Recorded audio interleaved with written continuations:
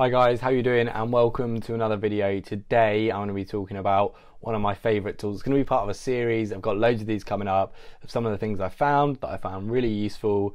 They're great for your startup, you're great for making your communication and general productivity easier. Now today we've got a really cool one. It's called landbot.io.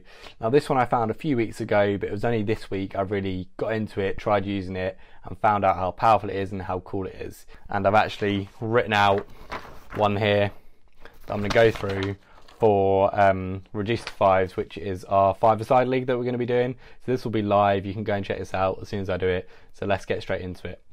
So when you come onto Landbot, you'll see they've got um, the dashboard here, and you simply go to create new Landbot. Now then, it will when you first sign up, it will take you through a tutorial. But what I'm going to do is go through and quickly make my Landbot. So first one is hi, and then the first message you can just click on and edit. I hear you're looking to join the best five-a-side league in London. Save, and there is your first message. Now, the good thing about Landbot is you can actually embed GIFs really easy, which makes it a little bit more engaging, a little bit more conversational with your end user. So you go out to send a message, it will create a new message here and then you go to add an image you will have, have to download the GIF. So I'll go to my GIFs use the funny one and then it'll import it straight in there. And the way you link these these messages up is you literally gr grab this green dot and you pull it over and there you are that is now linked. That'll be the next message in the bot. So I'm going to go through add a few more bits now and now I'm going for my first data point, which is asking a question. So pretty easy, you just go to ask a question. Um, for me, at the moment, I'm just asking for the name, so I put the name field in, and I go, what's your name? And then it'll actually field, save it as name, and you can edit that, and then I'll show you in the next one how you can use that as a variable. So I just link those up, then the next one is just going to be a message I'm going to embed where it says name. So it's going to be awesome to meet you at name, and that will then pull the answer from this question into the next message. So I'll just save that. Now I'm going to ask another question, and this is going to be slightly more fields. So I'm going to do buttons. I'm going to do the question Which league would you like to play in? You can easily change you can add the add an icon to them. You can add an external link but I'm just going to keep them basic for now. So I'm going to save these answers. I'm actually going to change the variable here. I'm going to change it to location so then I can add that as a variable in the next next field. So there's the question. Save that. Link this so this comes next. Now this is where it's going to be a little bit different you can choose any option, which is any of the answers will take you to the exact same um, response next. But I'm going to have different responses for each of them. So if they said none, so they don't want to play in any of these leagues, they're not near any of them, I'm going to add a message which says, really sorry at name.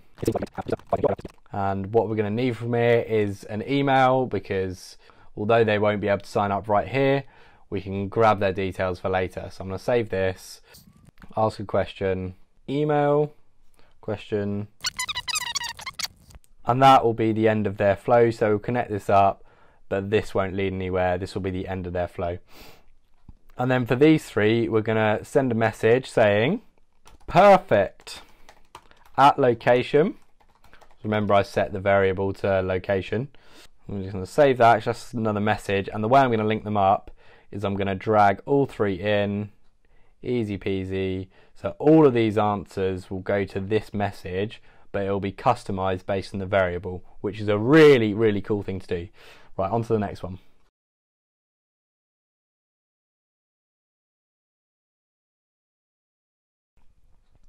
And there you are, that is the end of it. We've got, if we scroll back through, it's a very simple straightforward flow of question, question, question, message, message, message, and just linking up a few things, ending the flow in a various few places.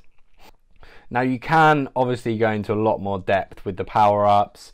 You can send Slack or email notifications. You can do conditional logic. um, webhooks. You can link it in with Zapier, which is a really cool platform if you don't know what that is. You can assign to different people. So there are lots of different things you can do with power ups, but I just want to show you a basic thing and how easy it is to make. So we're now going to go into the design of this because it will default it to this really bright red color. My face has probably gone very red now. And you can do a template or you can do your own colors and backgrounds. So I'm going to choose our primary color, which is green. That'll do nicely. Now set the gradient up. So we're going to do our color purple, slightly different gradient. So there we are. We've branded it up with our colors. Um, you can save that. You then go and add a logo and header text. We're to change it to register fives. Upload our logo. There it is. In it goes, and now we have it completely branded. Sign up to the league. So you can brand it up, save that. You can edit some other things in here, but I'm not going to go into that now. I'm going to now go into how we can share it. So create a custom Landbot link. Now we can copy this and then that is a landing page. You can share that um, and go ahead. So we're just going to go in and use a Landbot and I'll show you what we've just built there. So we go through it hi. Then it will act like there's someone on the other end actually speaking and you can see where we've set up everything is coming through. I'll type my name in, James. and you can see there here it is pulled through the the variable which I put in the in the message uh, with the at name. So I'm going to play in Clapham.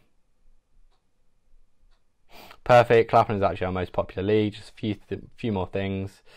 Team name we're going to have it as how about register fives. It will go through. There we go drop email in. So I'm going to put james at register5s.com. And your phone number. Put a fake phone number in. There you go.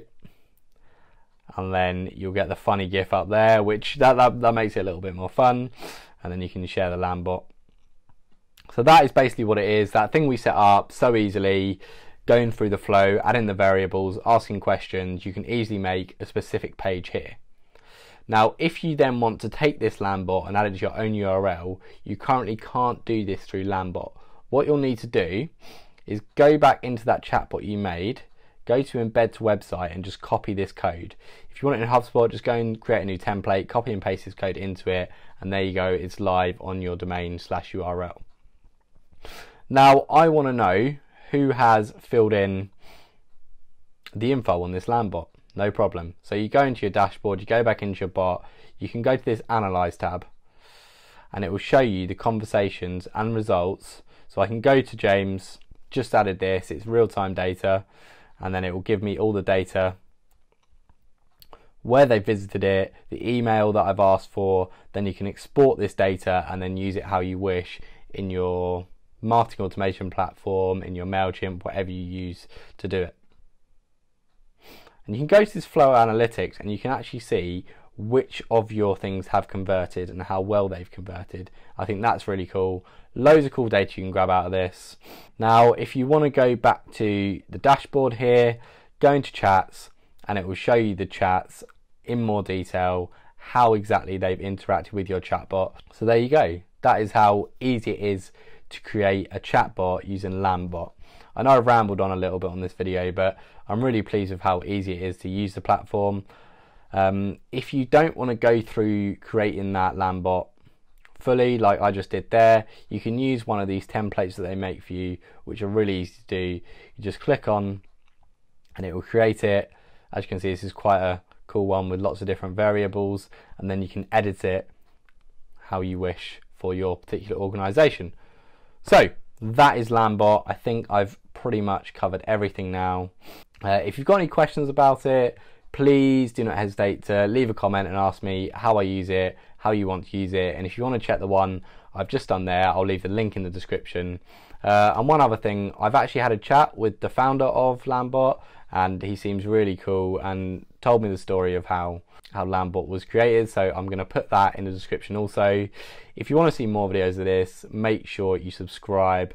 Stay tuned for the next one, and I'll see you soon. That was a really long one, wasn't it? What do you think of the new background? Um, obviously, need to iron this. My face is really orange. Realise that now. Make sure you click on the videos, subscribe wherever I put them. All right, I think I'm good now. We're done.